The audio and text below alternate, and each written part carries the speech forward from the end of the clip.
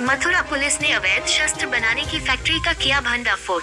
जनपद मथुरा के थाना गोवर्धन पुलिस को उस समय बड़ी सफलता हाथ लगी जब पुलिस ने मुखबिर की सूचना पर गोवर्धन थाना क्षेत्र के अंतर्गत आने वाले दौलतपुर गाँव में छापा मार कार्रवाई करते हुए एक अवैध शस्त्र बनाने की फैक्ट्री का भंडाफोड़ किया। पुलिस ने मौके से एक आरोपी जो कि अवैध शस्त्र बनाता था, उसको गिरफ़्तार कर लिया। वही पुलिस ने मौके से भारी मात्रा में अवैध शस्त्र एवं अवैध शस्त्र बनाने के उपकरण भी बरामद किए हैं। पुलिस द्वारा घटना के संबंध में जानकारी देते हुए बताया गया है की पकड़ा गया व्यक्ति साहुन अपने साथियों के साथ साथ मिलकर काफ़ी लंबे समय से अवैध शस्त्र बनाकर फैक्ट्री को चला रहा था, वही पुलिस लाइन की सभागार में आयोजित पत्रकार वार्ता में वरिष्ठ पुलिस अधीक्षक शैलेश कुमार पांडे द्वारा बताया गया कि गोवर्धन क्षेत्र में दौलतपुर गाँव के रहने वाले साहुन के द्वारा एक अवैध शस्त्र फैक्ट्री बनाने का कार्य किया जा रहा था। इस सूचना पर गोवर्धन पुलिस ने छापेमारी कर अवैध शस्त्र की फैक्ट्री का संचालन करने वाले साहुन को गिरफ़्तार किया है, जिसके कब्जे से अवैध शस्त्रों के अलावा हथियार बनाने के काम में आने वाले उपकरण भी बरामद किए हैं।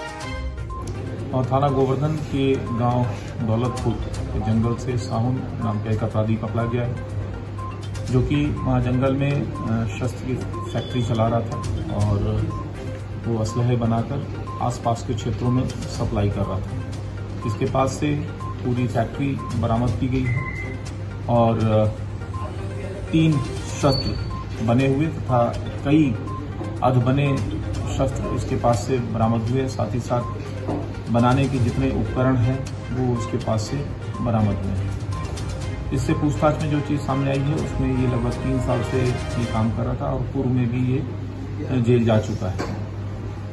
इसने कहाँ कहाँ सप्लाई किया, किस बेसिस पे सप्लाई किया है, कैसे जो इसके खरीदार कांटेक्ट में आते थे, इसके बारे में विस्तृत जानकारी मिली है। इस पर पुलिस टीम काम कर रही है। आगे और असलहों की बरामदगी तथा अभियुक्तों की गिरफ्तारी इसमें निकट भविष्य में सुनिश्चित की जाएगी। सर ये अकेला कार्यकर्ता था और इतना निपुण कैसे कहाँ कैसे अकेले जैसा मैंने बताया ये अकेला काम करता था हथियार देख के तथा पूर्व में कई अपराधी जो शस्त्र फैक्ट्री में गए हैं जेल आसपास के क्षेत्रों में उससे चीज़ों को सीखने की बात इसने बताई।